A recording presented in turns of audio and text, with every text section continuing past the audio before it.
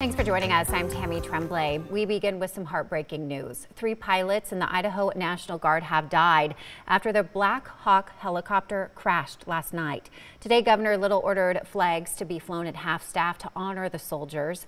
This is file video of the type of Black Hawk helicopter that the soldiers were flying when the crash happened during a routine training flight south of Lucky Peak in a remote area.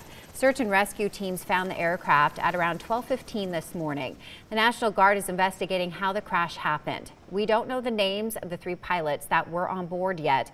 Lieutenant Colonel Chris Borders says that information will be released after their families are notified.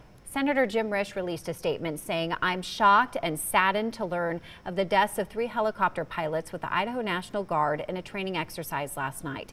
Mine and Vicky's prayers are with their families and all Idaho National Guardsmen during this painful time and thank them for their service to Idaho and the nation. And Congressman Mike Simpson says, Kathy and I are praying for the families and friends of the three Idaho National Guard soldiers who were killed during a training flight last night. Our citizen soldiers embody a spirit of service and the best of American patriotism, and this loss is felt deeply throughout Idaho.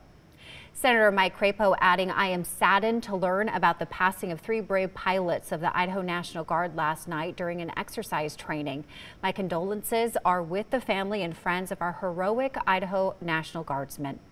And finally, Representative Russ Fulcher says this morning I learned of the tragic loss of three Idaho National Guard pilots during a training flight. To the families of those pilots involved, you are in my prayers as our state mourns the passing of three of its heroes.